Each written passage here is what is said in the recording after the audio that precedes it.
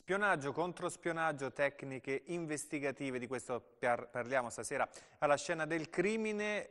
Si è aggiunto un nuovo ospite a cui do la buona serata, si tratta di Francesco Polimeni, titolare della Polinet SRL del sito spiare.com, un autentico guru in materia, possiamo presentarlo così, no Roberto? Che, insomma eh, ne ha di cose da dire, ha portato la sua strumentazione, di cui fra poco parleremo, però insomma presentiamo un po' la sua figura professionale, come comincia questa che penso sia comunque iniziata come una passione. Sì, sicuramente tuttora è una passione, io provengo dalla Polizia di Stato dove ho prestato servizio per sette anni, dal 1990 in cui mi sono congedato ho iniziato parallelamente questa attività e proprio perché c'era una, eh, una, passione eh, sulle varie tecnologie investigative eh, tecnologie in quel periodo sconosciute, perché mh, tengo a precisare che un trasmettitore ambientale, una classica cimice, era grande come un pacchetto di sigarette, oggi abbiamo raggiunto dimensioni di millimetri.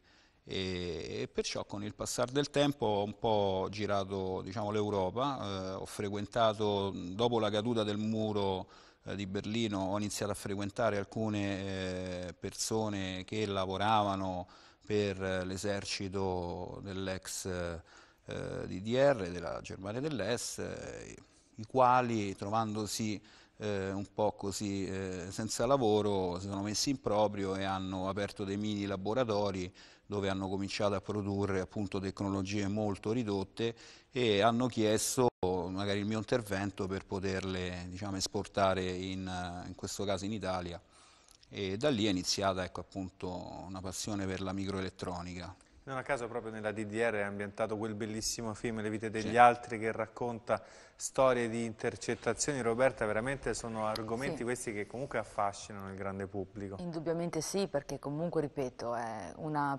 problematica che sentiamo, sentiamo collettivamente. Non a caso, peraltro, eh, in alcune occasioni personaggi poi di un certo rilievo, anche politico, e, e molti giornalisti comunque, o telegiornalisti in qualche modo fomentano anche la paura no? di, essere, di essere sempre sotto spionaggio. C'è stato un momento qualche tempo fa in cui la paura dell'intercettazione telefonica praticamente riguardava anche quasi la casalinga, insomma, che tutti pensavano di essere spiati e che spiare fosse una cosa assolutamente alla portata di chiunque. Girava la voce dei famosi sms autoinstallanti che poi in qualche modo trasformavano i nostri cellulari in, praticamente in microspie eh, trasmettendo qualunque cosa attraversasse le nostre conversazioni, sia durante la conversazione telefonica che durante la nostra vita eh, diciamo, senza, senza il contatto telefonico. Per cui effettivamente molte persone si sono probabilmente un po' anche lasciate suggestionare da questo tipo di visione mediatica che, che veniva proposta, eh, anche esagerando. Indubbiamente i numeri sono importanti delle persone oggi spiate a vario titolo e da vari tipi di soggetti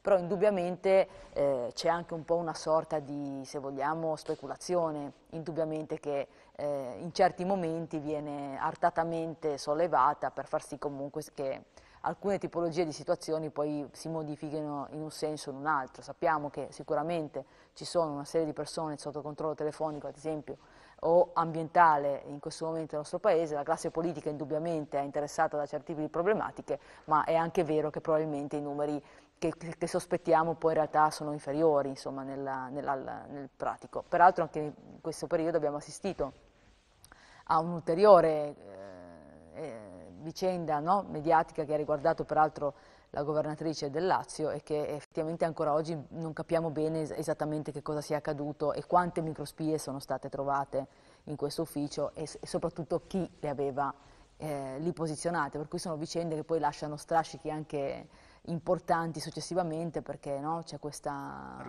dimensione delicati. paranoica che, che in tutti noi c'è e che viene solleticata abbondantemente da questi argomenti. Sul quale chiedo un parere a Polimeni in qualità da, di esperto, non credo che sia stato coinvolto personalmente no. eh, nella vicenda, dunque può darci un parere diciamo così super partes a leggere gli articoli di giornale, a vedere i servizi televisivi, quindi un occhio però così attento come il suo, che idea si è fatto di questa vicenda? Parliamo della polverina e delle sì, microspie sì, rinvenute Beh, nel suo ufficio e nei locali della Regione Lazio ovviamente. Io purtroppo non ho potuto visionare il materiale rinvenuto, però ecco dalle immagini che ho potuto vedere dal telegiornale o da varie foto che sono state pubblicate sui giornali, mh, ho dedotto che sicuramente la telecamera una, non si può definire microcamera, è una telecamera abbastanza grande, a tenuta stagna, peraltro è una telecamera eh, che si utilizza appunto in, in ambienti aperti, eh, perciò non so come abbiano potuto eh, o chi l'abbia potuta installare occultare dentro un ambiente perché mh, sicuramente è una persona eh, non esperta. E, e, invece il trasmettitore, la, la, la, microspia, da quello che ho potuto vedere, è un trasmettitore eh, diciamo molto comune. L'alimentatore, quella scatolina che hanno inquadrato, non è il trasmettitore, quella che hanno fotografato tutti, quello è un, un trasformatore che trasforma la corrente da 220 volt a 9 volt per esempio, per alimentare in modalità continua la trasmittente. Okay? quel tipo di trasformatore, poi andremo a vedere per esempio un tipo che ho portato dietro io, eh, è molto grande, perciò è un qualcosa di diciamo, autocostruito, um, materiale proprio... proprio... degli ultimi no, ritrovati, questo no, è quanto no, ci dice Polimeni stasera.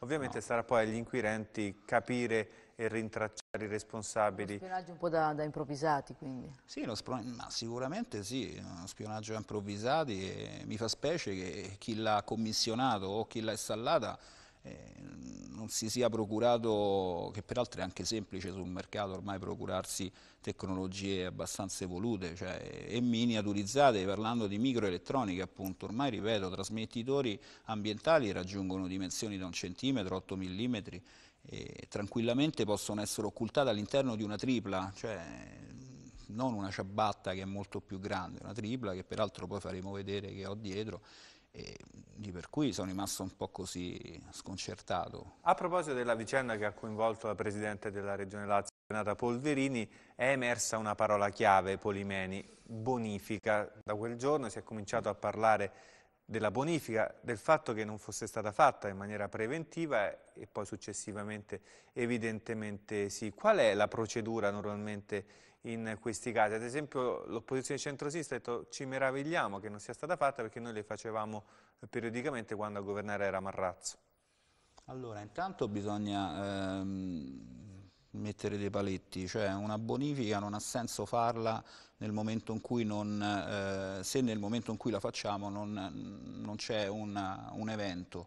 Eh, io solitamente quando opero, opero sempre nel momento in cui c'è eh, appunto un evento che può essere un consiglio d'amministrazione, una riunione particolare, eh, un appuntamento, insomma, un, un, un, pretesto per poter appunto eh, ascoltare, spiare. Okay? Eh, infatti, Il fatto comunque hai... di entrare in un nuovo ambiente di lavoro poteva presupporre l'opportunità di una bonifica? Benissimo, la bonifica, eh, teniamo presente che eh, le microspie si eh, possono installare anche per deviare okay, i servizi diciamo, di sicurezza interni o l'azienda che appunto svolge per la Regione Lazio, in quel caso che è un ente governativo, eh, servizi appunto di bonifica, ma ciò non toglie che io possa installare una microspia in un ambiente sensibile e eh, attivarne una seconda magari telecomandata capisce? Perciò nel momento in cui noi andiamo a fare una bonifica troviamo la microspia.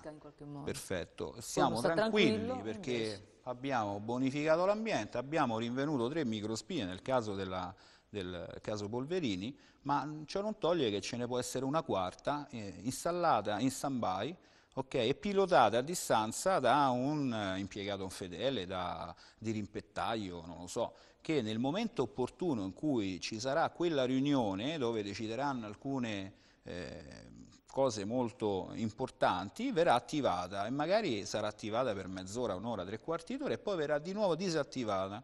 Okay? Nel momento in cui andiamo a disattivare una microspia, quella è morta.